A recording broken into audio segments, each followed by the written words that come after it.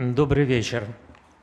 Ну вот сейчас э, возник разговор о цензуре, и сразу я как будто перенесся в те времена, когда, когда, собственно, эта цензура нас сопровождала, нашу жизнь, кинематографическую в частности. И э, вот я вспоминаю э, тоже вот как бы незначительные как будто бы ну, по, по масштабу факты, но, но именно вот эти вот маленькие факты, они как-то особенно пронзают, я бы сказал. Например, выходила в то время, это было уже где-то незадолго до перестройки, энциклопедия, очередная э, советская энциклопедия, малая, по-моему, или энциклопедический словарь. В общем, там был, э, была статья про Анджея Вайду, известного знаменитого польского режиссера, который в то время попал в опалу в нашей стране, потому что он поддерживал польскую солидарность. В общем, считалось, что он э, предал идеалы социализма. Э, ну хорошо, в конце концов напишите, что он там предал идеалы социализма или что хотите. Нет, а, нужно было эту статью полностью изъять из э, энциклопедии, как будто бы такого человека не существует. Но поскольку это, значит, этот том уже пошел в печать, Э, технически это было сделать очень трудно, надо было переверстывать все, и это были огромные расходы, ну, в общем, проблемы. Тогда вышли э, следующим образом из положения. Ну, ну маленькие как бы вправки можно было делать. Значит, Вайда там уже был. Деваться от него было куда-то трудно. Поэтому написали «Вайда – вид сорной травы, растущий там в таких-то областях там, России или, не знаю, каких-то других стран». Вот, и таким образом все было замечательно. Э, другая, другая история – в э, книге, посвященной французскому кино, в конце, вот как положено было, так давалась фильмография, там, то есть э, список фильмов и фамилии их создателей.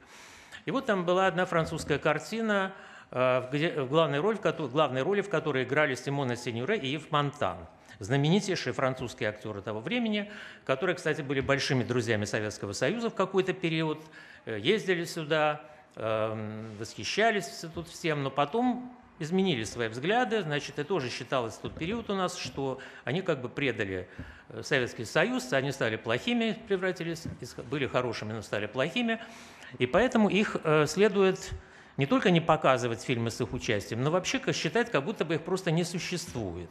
И вот выходит фильмография, это, значит, ну, шапка как бы этого фильма, где написано, сейчас забыл название даже картины этой, но помню, что режиссер такой-то в главных ролях – двоеточие. И дальше идут исполнители всех второстепенных ролей.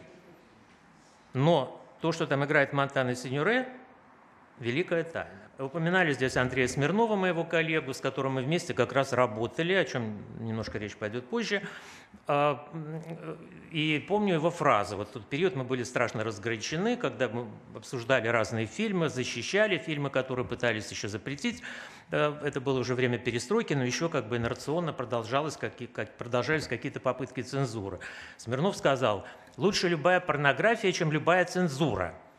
Значит, все на свете, в общем, ну, нет ничего ужаснее цензуры. В общем, действительно, мы ненавидели эту цензуру, всячески с ней боролись. Думали, что мы победили эту гидру, и теперь будем жить, э, ну вот как Испания, например, победила франкизм, э, рассчиталась с прошлым, и там появились Альмадовар, в общем, другие замечательные режиссеры, полная свобода, там сексуальная, всякое прочее. И, э, и вот у нас будет то же самое. Ну, действительно, у нас то же самое, в общем, в каком-то смысле возникло на каком-то этапе.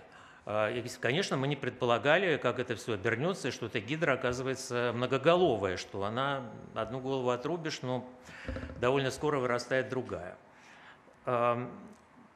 Эм, ну, я сам попал в эту историю каким образом? Кратко, кратко хочу вам рассказать. Эм, меня выбрали в правление в секретариат Союза кинематографистов на пятом съезде. Это был вот тот знаменитый съезд, когда все выступили против, э, э, в том числе и против полочного, э, против того, что есть прекрасные фильмы, которые лежат на полке. В это время еще лежали на полке фильмы Германа, эм, Климова и Муратова, и Сакурова, и огромного количества других режиссеров.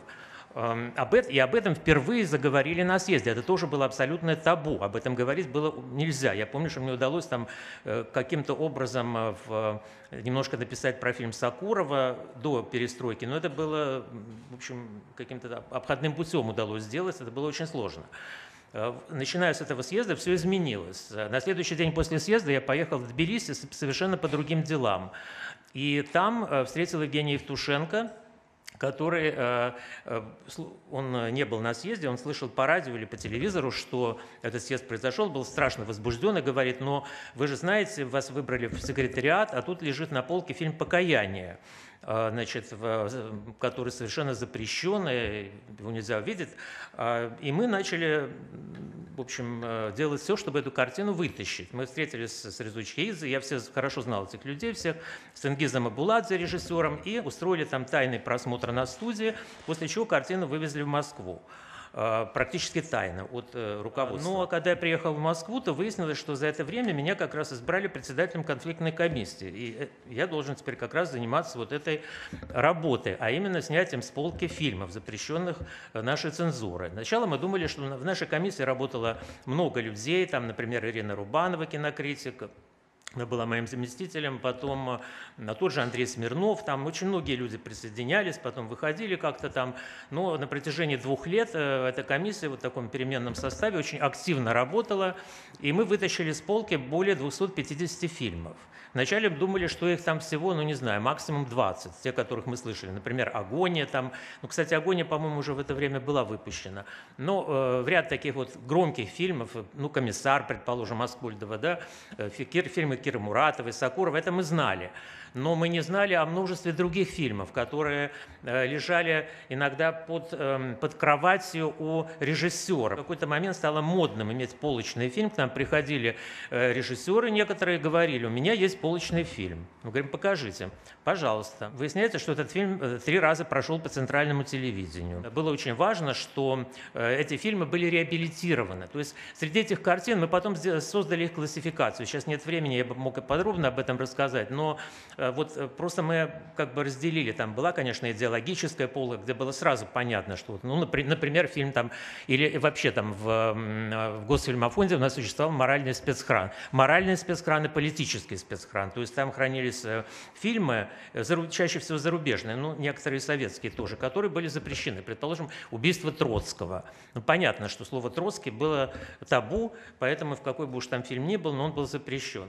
Но были фильмы, например, фильмы Бунюэля, там «Дневная красавица» или э, Бергмана «Молчание», они лежали в моральном спецкране, потому что там показывались какие-то эротические сцены, в общем, э, и так далее. Это все было чуждо нашей идеологии, но все-таки с точки зрения морали.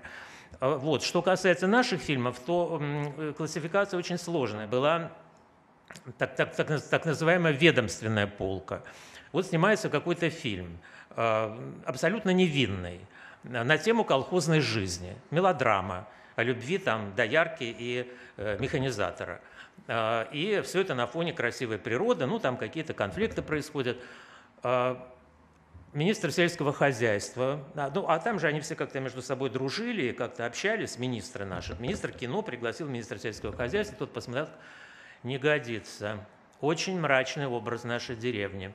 В общем, на фильм накладывается запрет – и так далее. То есть э, понятно, что там количество этих табу разрастается. Иногда абсолютно э, трудно было понять, почему, собственно говоря, вот тот или иной фильм запрещен. Но понятно, что фильмы Параджанова, предположим, хотя в них ничего не было антисоветского совершенно. Но просто этот сам человек своим видом и поведением, он, в общем, как бы вот был настолько вот против всей системы, как-то не соответствовал ей, не говорю, ну, например, вот его послали один раз за границу, даже хотели послать на какой-то фестиваль. Может, его же фильмы гремели на фестивалях мира «Тени забытых предков». А, вот, ему сказали, вот вам билет, вот это туда, значит, и обратно. Он сказал, обратно мне не надо. Ну, пошутил. Конечно, он остался здесь надолго. На самом деле в них находили какие-то там мистические, религиозные мотивы, которые, значит... Но на самом деле проблема была в другом. Просто наши начальники, и цензоры в том числе, и редакторы, они не понимали этих фильмов, они, они не понимали метафорический, сложный какой-то язык. И поэтому им казалось, что раз они что-то не понимают, там что-то прячется, что-то все равно не то. Как говорили, фиалки пахнут не тем. Вот что-то все равно обязательно про, протащили какую-нибудь крамолу. Поэтому лучше на всякий случай этот фильм запретить или, по крайней мере, притормозить. Вот, э, ну, значит, э, переходя уже к более... Собственно говоря, вот в какой-то момент наша работа завершилась, потому что стало понятно. Те уже какие-то знаменитые фильмы мы вытащили.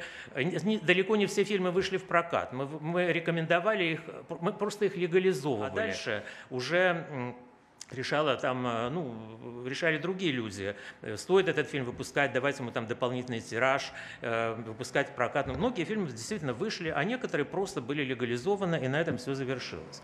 В наше время, ну как бы уже переходя к нашим дням, что можно сказать? У нас официальная цензура, как известно, и не существует ее, так же, как и Симона Синьоресова Монтана.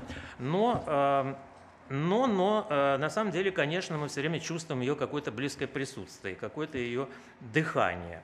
Э, ну, я не знаю, там можно приводить много примеров. Есть какие-то более-менее видимые знаки, когда, предположим, сценарий фильма «Чайковский», написанный Кириллом Серебренником, замечательный сценарий, э, и Арабовым, э, так и не смогли довести до производства, до финансирования. Все это утонуло в дискуссии о том, был ли Чайковский гомосексуалистом, или это, значит, э, ему специально приписали враги русской культуры. Вот. Э, и в итоге картина не состоялась, и думаю, что вот это вот эти какие-то следы этой дискуссии, они дошли в конце концов и до э, вот это, того, что до инициаторов этого самого позорного процесса, который еще не закончен.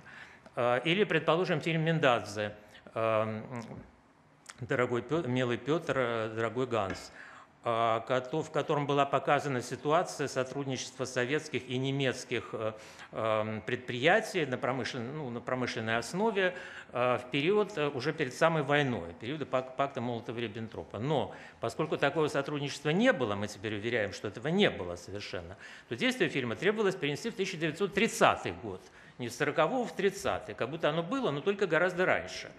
Но тогда терялся всякий смысл в фильме, потому что там весь смысл был в том, что это все очень близко, и тут же вспыхивает война. А тут вообще непонятно что. Ну, все-таки Мендадзе сказал, да, я все переделаю, значит, конечно, в 30-й год перенесем все, ничего не переделал, и, в общем, в конце концов, плюнули. То есть наша цензура, она сейчас такая, иногда она может ну, позволить себе какие-то все-таки слабости. Вот. С другой стороны, э, чаще всего эта цензура, конечно, носит обходной характер, экономический прежде всего. Э, но мы это видим просто потому, что сравниваем, вот когда я там много бываю на кинофестивалях международных и вижу фильмы, которые представляют там, ну не знаю, там англичане, там э, аргентин, фильмы социальные, где ставятся действительно острые проблемы. Наше кино очень редко поднимает такие вопросы. А, ну, уже не говорю про темы там Украины, Донбасс, это вообще табу, э, Чечни там какой-то период был совершеннейшее табу. Эм, понятно, что просто на эти, на эти темы-то никто никогда не найдет финансирования. Конечно, можно пытаться найти какие-то независимые источники, но потом этот фильм, конечно, не получит проката, в любом случае он будет э, эм, подвергнут э, ну, всяческой травле, как вот, например, был подвергнут травле фильм «Праздник», там, хороший он, плохой, не, не, не в этом дело. Но он был подвергнут травле уже изначально, потому что он вот взял запретную тему блокады, показал, ну, я, вы понимаете, о чем идет речь, как бы показал блокаду с несколько другой стороны, что не положено. К сожалению, э, вот это вот э, косвенное э, развитие цензуры, которое мы все время наблюдаем на протяжении последних десятилетий, оно в общем-то, очень плохо повлияло на развитие нашего кинематографа. Понимаете, с одной стороны, это очень это тонкая вещь. Вот, например, Луис Бунель, знаменитый испанский режиссер, говорил, у него такая фраза есть, там, все знают, как я ненавижу, ненавижу цензуру и всю жизнь с ней боролся. Но только Бог знает, как многим я обязан цензуре. Потому что в каком-то смысле вот то, что там была цензура, э, это заставило, в Испании имеется в виду, а, при Франко, заставило Бунюэля искать э, какие-то другие способы выражения, обходные пути и зопов язык. И, в общем, ну, в каком-то смысле, если так огрублять, э, в общем, не без этого возник сюрреализм как метод. В общем-то, у нас тоже мы наблюдаем, что, несмотря на всю эту цензуру, какие прекрасные фильмы сделали там Алексей Герман и умели, в общем, рассказать там о многом и Кира Муратова, и множество Климов, множество других режиссеров. Вот. Но, разумеется, это не означает, что цензура – это благо. И, э, и, и, с другой стороны, мы видим, что когда цензура как бы перестала существовать, ну, по крайней мере, вот в том виде, э, то э, кинематограф растерялся, потому что до этого была стена, и все эти режиссеры, тот же Герман, они как бы все время против этой стены должны были вот так стоять, и это накачивало им мускулы художественные. Когда эта стена, стена рухнула, они оказались в общем, ну, не имею в виду Германа в данном случае именно, но вообще как бы общее ощущение было такое. Что касается молодого поколения, которое уже пришло после, оно э, все-таки было очень инфантильным. И э, для того, чтобы оно сформировалось, нужно было большее время. Э, и уже в начале нулевых годов у нас начала формироваться режиссерская новая волна. Действительно пришли интересные люди, Звягинцев, Попогребский, э, Хлебников и так далее. Их довольно много. Это было ощущение некого движения вперед. Я уверен, что это бы э, нашло свое продолжение, если бы не вот все организационные, на самом деле направленные на запреты э, преобразования, которые произошли в структуре нашей кинематографии. А, и теперь, спустя 10 лет, мы видим, что эта новая волна фактически рассосалась. Э, одни режиссеры ушли в сериалы, другие еще куда-то, и в коммерческое кино. И, в общем-то, у нас кино, как явление, о котором можно говорить всерьез, почти не осталось. Как мы говорим, у нас фильм «Дылда», например, выдвинут на Оскар. Это замечательный фильм.